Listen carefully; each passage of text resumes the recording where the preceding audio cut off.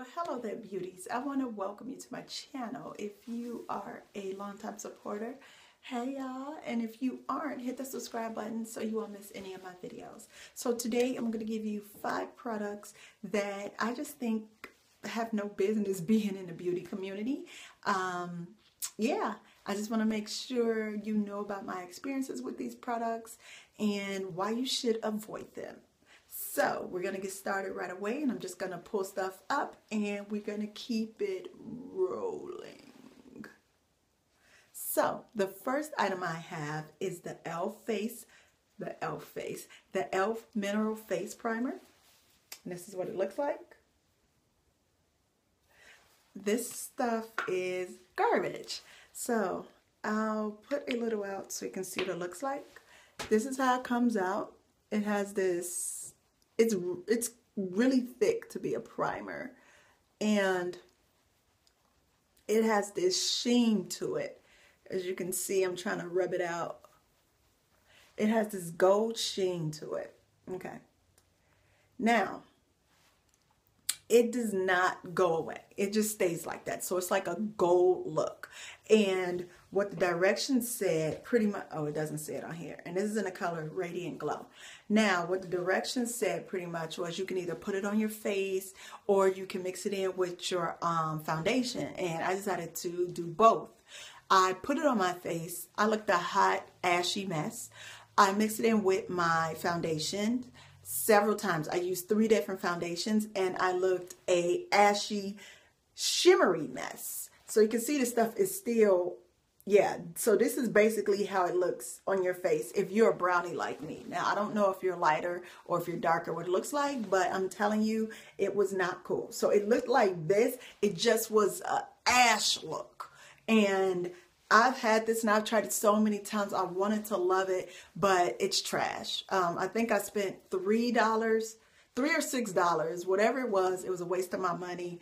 Don't waste your money, especially if you're a brownie my color. Don't even waste your time on this one. I don't know about the other ones because they have other ones in that line, but that one was crap.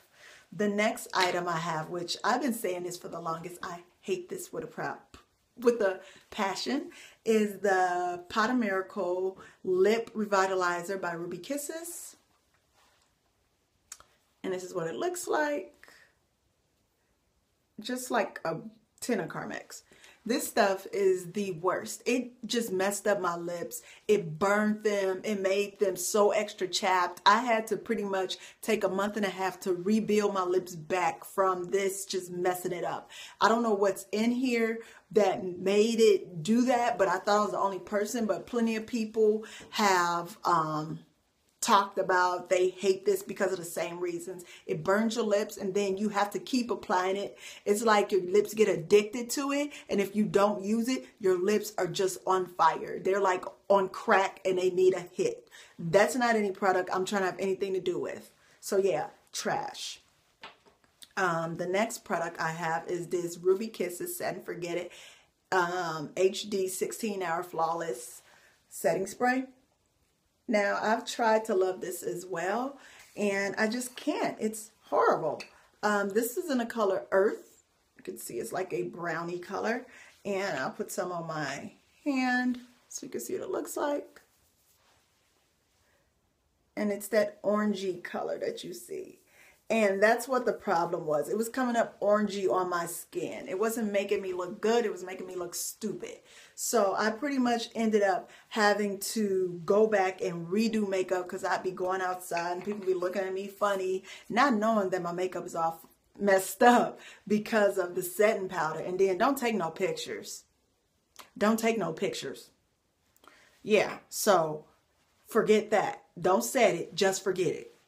Um, the next thing is this Sinful Shine with Gel Tech from Sinful Colors. This stuff is horrible. It's a cute color, but it's so hard to get off. It stains your nails. Even if you put a protectant underneath, um, this stuff is garbage. I don't, I, I was done with Sinful. I tried to try them again, but they not on nothing. Like the color is beautiful. It's just don't nobody got time to be stripping their nails every time they use this stuff because you're using all that cheap stuff. So Sinful Colors, you lost my money. Like I'm done. This is like the third time one of your polishes has done that to me, and I've had to get my nails shaved down to get it off. No, it's not worth the two dollars or the dollar. But anywho, the last item I have is a Kabuki brush by Wet n Wild. And this is what it looks like. This is the roughest kabuki brush I've felt in my life. It does nothing for my face but make it not feel good.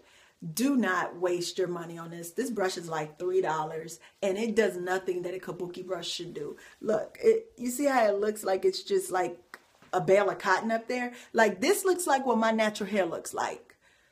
Yeah, it just looks like a bale of cotton. And that's not what I need on my face because it feels a little bit rough I don't know if I think they've been coming out with some new ones. Like you guys know, I ride for Wet n Wild, but this right here is some bull.